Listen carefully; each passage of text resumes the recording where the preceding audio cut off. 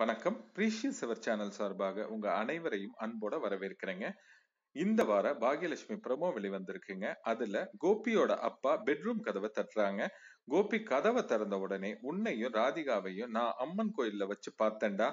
உனக்கும் பாக்யாவுக்கும் நான் தான் கல்யாணம் பண்ணி வச்சேன். அவளுக்கோ பிள்ளைகளுக்கோ ஏதாவது பிரச்சனைனா நான் சும்மா இருக்க மாட்டேன்னு சொல்லி கோபியோட அப்பா கோபியை எச்சரிக்கிறாருங்க. அதே நேரம் பாத்தீங்கன்னா பாக்யா சாப்பாடு கொடுக்கறதுக்காக ராதிகா வீட்டுக்கு கிளம்புறாங்க. அப்ப கோபியோட அப்பா தடுத்து நிறுத்தி அம்மா நான் போயிட்டு வரேன் அப்படின்னு சொல்லி சொல்றாரு. இத பார்த்த கோபி அதிர்ச்சி அடைஞ்சு நிக்கிறாரு. இதோட இன்றைய பிரமோ நிறைவடையுதுங்க. இந்த பிரமோவை பார்க்கும்போது அடுத்து என்ன நடக்கும் அப்படிங்கிற ஆர்வம் எனக்கு அதிகமாகுது. உங்களுக்கு நன்றி வணக்கம்.